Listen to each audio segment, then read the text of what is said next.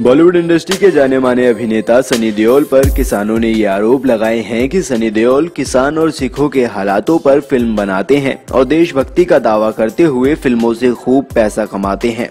फ़िल्मों के अलावा राजनीति में भी सनी देओल ने किसानों के मुद्दे उठाकर चुनाव लड़े और चुनाव में जीत भी हासिल की।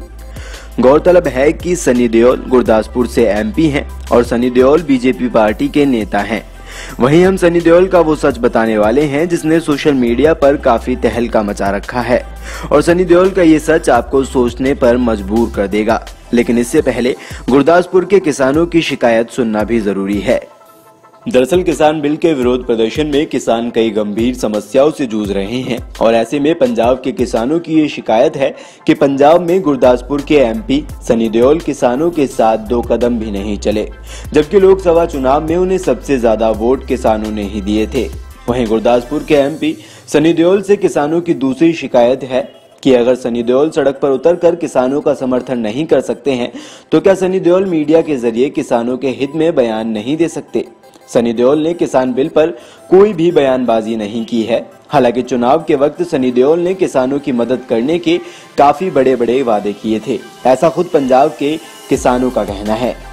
बहरहाल, इस बीच जो सबसे बड़ी खबर सामने निकल कर आ रही है, वो ये कि सनी देओल मंगलवार एक नवंबर को कोरोना की चपेट में आ गए हैं और सनी देओल ने खुद को अपने मनाली फार्म हाउस में आइसोलेट कर लिया है। यहाँ गुरदासपुर के ही रहने वाले कुछ किसानों का कहना है कि सनी देओल बस कोरोना वायरस की चपेट में आने का झूठा दावा कर रहे हैं और सनी देओल ने किसानों से अपना पल्ला झाड़ने के लिए नई रणनीति अपनाई है। दरअसल, मीडिया रिपोर्ट्स की माने तो कुछ करीबी सूत्रों से जानने को मिला है कि सनी देओल ने खुद के कोरोना पॉजिटिव होने की अफवाहें जानबूझकर मीडिया में चलाई हैं, ताकि उन्हें किसानों की मदद न करने का बहाना मिल सके। और जब चुनाव के वक्त ये सवाल खड़ा हो कि सनी देओल ने किसानों का समर्थन क्यों नहीं किया था तो सनी देओल ये कह सकें कि वो आइसोलेशन में थे। बहरहाल, किसानों के ये गंभीर आरोप सनी देओल के खिलाफ तब और भी ज़्यादा शक पैदा करते हैं, जब कोरोना पॉजिटिव होने के बावजूद भी सनी देओल मनाली में अपने फार्म हाउस पर छुट्टियाँ मनाने चले जाते हैं। बता दें, किसानों का कहना है कि सनी देओल फेक पर्सनैलिटी हैं और उन्होंने अपनी फ़ैन फॉलोइंग का गलत फ़ायदा उठाया है। सनी देओल पर आरोप है कि अपनी फ़िल्मों के ज़रिए वो लोगों के बीच ये भ्रम फैलाते हैं कि सनी देओल किसानों और सिखों की कितनी चिंता करते हैं। हालाँकि अब जब किसान इन मुश्किलों भरे दौर से गुजर रहे हैं तो सनी देओल कोरोना वायरस का बहाना बनाकर किसानों से अपना पल्ला झाड़ रहे हैं।